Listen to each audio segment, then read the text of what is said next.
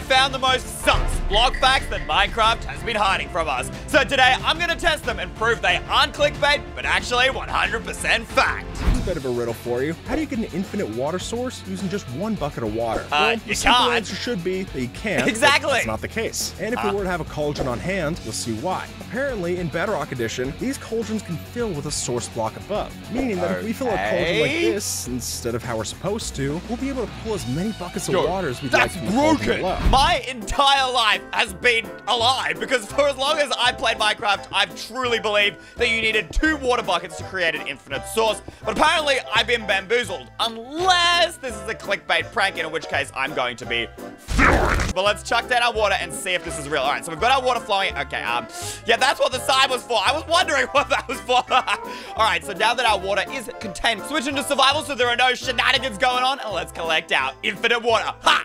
Excuse me, it didn't work. What? Bro, guys, I'm clicking on the cauldron and my bucket isn't filling up. It's clickbait. Oh, I knew it! I knew it, guys! Boom! That's my water. Oh, wait, but there's water there. Oh, wait a minute. So you pick up that water and then you put it back. Oh, I've been doing. I was doing it. Oh, I see. I was doing it wrong. It's not clickbait. It's actually real. What? So basically what you have to do is pick up that water, then use a bucket to pick up that water, and you place it down. You can see I've already got three buckets now. And then what? I pick that up again. I've got four, and now I've got five buckets. And you just repeat this over and over again until you've got all the buckets you need. And well, I mean, it's honestly easier at that point to just break out four blocks and make an infinite water source with two. Okay, I was so excited I was right there, but I was wrong. This is just, this is just embarrassing. Minecraft's pumpkins used to look like this. Pumpkin pie used to be more orange. Ew. Jack-o'-lanterns can be enchanted with curses. A zombie villager's nose doesn't fit in a so pumpkin. dumb. Pumpkins make a didgeridoo sound when placed on dry Aussies wood. This was the first screenshot of a pumpkin pie. Jack-o'-lanterns first looked like this. Mobs have a chance of wearing a pumpkin on Halloween. Pumpkins drop when pushed by pistons. Pumpkins used to be found in engines. No. Jack-o'-lanterns work for building golems. Pumpkin seeds breed chickens. Since when? Jack-o'-lanterns spawn in taiga villages. Uh, since when can you enchant jack-o'-lanterns with curses? Like, what? Minecraft, you ain't making sense. Because it's practically useless. Like, yes, if we enchant a carved pumpkin with the curse of binding and chuck this on our head, we won't be able to take it off. Like, look at this, guys. Now, no matter what, I can spam click it and it will not come off. But you can't wear jack-o'-lanterns here, guys. If I switch into creative and now take it off, I, I can't put jack-o'-lanterns on my head, even if I enchant it with Curse of Binding, right? Or maybe this changes it. Maybe this changes the game. All right, we've enchanted with Curse of Binding, put it on our head. See, look at it. I am clicking and I cannot put it on my head. It's useless. Is there any point to enchanting these things? Like, Curse of Vanishing disappears when the player dies, but if you can't wear it, it does nothing. Is there a purpose to this other than to flex that you're rich and can just waste enchantments on random things? I, I really don't know. Guys, please let me know in the comments down below. The other thing I thought was hilarious was the zombie villager spawning in with a pumpkin and it just not fitting his nose. like there was no hole. His just nose burst out through the pumpkin. And I want to see if that also applies to regular villagers. Let's go. Bam. Bro, where are your eyes, bro? He's not even wearing a carved pumpkin. He's just wearing a pumpkin and his nose just burst out. How did you... Bro, that must hurt. That must really, really hurt. You should see a doctor about that.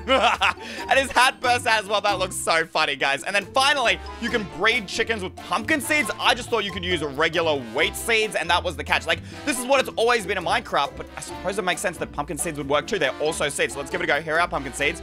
Okay, the chickens are following me. Why do you want pumpkin seeds, bro? Pumpkin is lame compared to wheat. Okay, the chickens clearly don't care. And what, if I feed them, they'll breed? Bro, oh no. Oh no, this is a curse. You are a cursed pumpkin baby! With each new update, Mojang gives us in the building community something to play around with. And for the Facts. Wild update, that's currently the addition of Sculk. I and since love the these Sculk new veins blocks. function like vines, we can completely reimagine our existing textures. For instance, we can take after this user and make our own blue variant of the No, that has to be a mod. That And has to really, be This fake. just gets me excited for when 1.19 properly releases. It can't look that good. It looks so real. more. No, no, no. No way Minecraft is that cool. Okay, so we've got our diamond block. These two look nothing alike at the moment, and we're going to add our sculk vein. Bro, that is so cool. You literally got blue magma now. Bro, and then you can put it around all sides. And it literally looks like a blue magma. That is so dope. And on top of that, I mean, I've got a bunch of blocks here, and you can pretty much experiment with all of these to get all kinds of different things. Wait, I want to see what they look like. Okay, that looks a bit odd. It kind of looks like rusty magma. Oh, that's like a darker blue magma. Purple magma. That just looks really terrifying. Looks like the end is ripping into the overworld. Oh, that's a cool magma. That's like burnt magma. Yo, matching the netherite, and oh, that would look so good in builds, guys. And then uh, that looks just a bit dumb. but this is legendary. You can literally get any color magma block you want. Bro, I mean, Sculk already looked cool, but now it looks a trillion times better. Bro, what is this potato cab quality? There's no way this video has anything interesting or new when it's this trash. Okay, what is it doing? Opening the barrel and... Wait, what? Bro, what happened to the texture? It's like permanently open?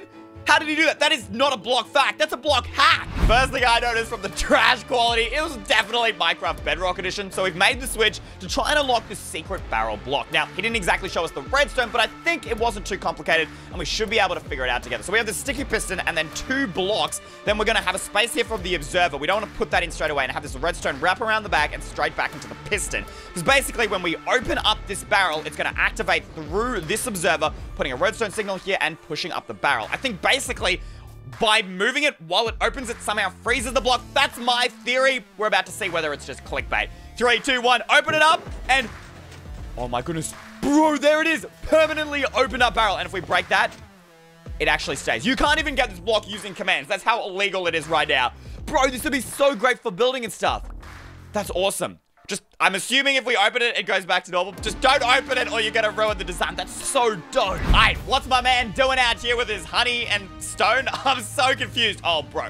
Nah, bro, you're screwed. You can't jump once you're stuck on honey. It ain't happening. Nah, even with a jumper's potion, it doesn't work. You are stuck permanently, bro.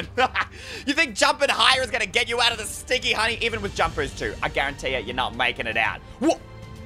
Huh. No, this has to be a joke. You're not supposed to be able to escape honey at all.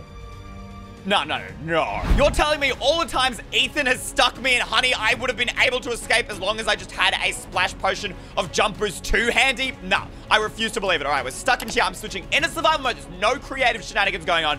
Throw this up in the air. All right, here we go. And I knew it. I knew I can't make it right there, guys. Look at that. I got, oh, wait, did I throw, I threw the jump boost one. Oh, wait. I could still be wrong. There goes the jumpers too. Let's try it again. That, no, no, no, that was a glitch. That, that was a glitch, right? Flip. Oh my goodness, you can do it. You can escape honey. Bro, this is huge. You can use, just carry around one of these so if your friends ever prank you, you can escape. I genuinely thought honey was an inescapable trap, but I was wrong. Bro, you lame, honey! The bees, take this back to the beehive. Go back to the beehive! Magma blocks were added in 1.10. They had a feature where they'd store the light level of a block placed next to it. So if you placed glowstone and then removed it like so, Yo. it would be just as bright. That is the it's coolest thing ever! sure, but it got removed in 1.14 because it was actually a bug. Mate, I forgot how boring old iron ore texture was, but that's not why we're here. We're here to test out Magma, which was added in this version of Minecraft. So normally when you place this down, we get rid of the torch here, it doesn't really emit light. Like the block itself kind of glows on its own, but it's not the same. But if we go ahead and apparently place a block that does glow, for example, our glowstone here next to it, and then we destroy it again, it's supposed to keep the glowstone inside of it. It just doesn't make sense, but it sounds awesome, all right? And look at that! It glows as if the glowstone is still there. That's so awesome. So let's get rid of that magma and we'll place it down again here. And then we'll place the sea lantern next to it and then break it. Yo, that is so cool. It's basically like an on-off switch for whether or not the block glows. Why isn't this still in Minecraft? Like, yeah, I get it's a bug, but that would be such a great feature. So you can have like on-off lamps inside your house and everything. Oh my god, so much potential. Guys, right now, if you want Mojang to bring this feature back, leave a like on this video.